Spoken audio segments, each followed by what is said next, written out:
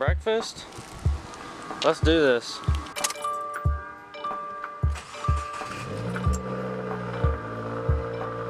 Welcome back to the vlogs everyone. Today I'm going to a little Father's Day car meet that is going to be hosted at the church I go to. I've been going to this church with my girlfriend for about a year now I think. But last Sunday I saw the sign up sheet so I just I was like screw it I'm just gonna sign up. And outside next to the sign up sheet was a hot rod so I kind of have a feeling that it's gonna mostly be muscle cars here. And I don't know if there's gonna be five cars 25 cars. I really don't know what to expect but I'm pretty confident I'm gonna be the only Subaru there if not the only JDM or import there to be honest. So I think it's time for the Subaru to take over a muscle car meet don't you think? So I'm about to head there now and as you can tell if I look tired I am. I don't need I think I got like two hours of sleep last night. For some reason I just couldn't sleep at all.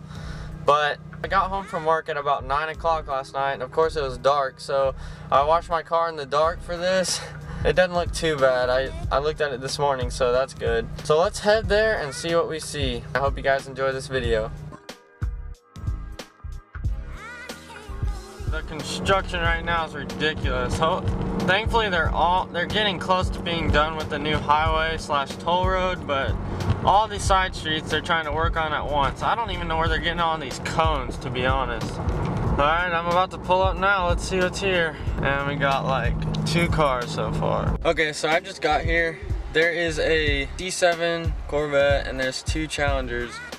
So, and they're also just uh, like an old-timey looking truck just showed up. So I'm gonna show you guys that. Hopefully more shows up, but so far, I'm the only tuner here.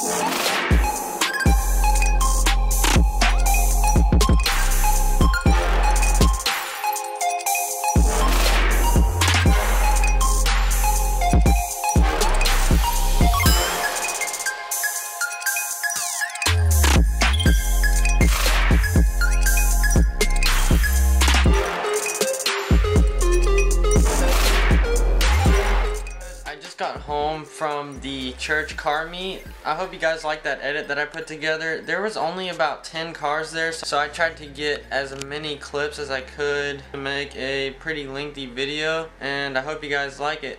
So now I'm gonna edit this video and then I have to pack because me and Lauren are going on a little road trip to Austin for the next couple days. We're gonna stay with my aunt one night and then we are hopefully gonna do Fiesta Texas and then we're gonna try the Austin Zoo and she said something about this graffiti town or something so we're gonna check that out it's gonna be nice to get away from the house and take the Subaru on some roads it's never been before so I hope you guys enjoyed this video if you did leave a thumbs up and if you're new to my channel hit the subscribe button. There will be more videos soon to come. I'll see you guys next time. Peace out.